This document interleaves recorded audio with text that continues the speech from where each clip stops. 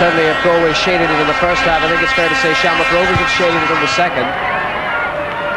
But it's not unjust that it's standing at nil-nil at the moment. But there it's gone on to Tommy Keane against Murphy. Good well to get it in.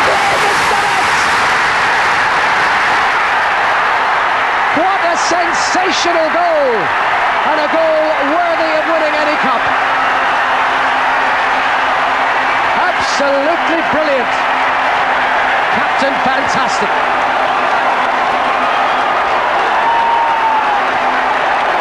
And Johnny Glynn can scarcely believe it himself.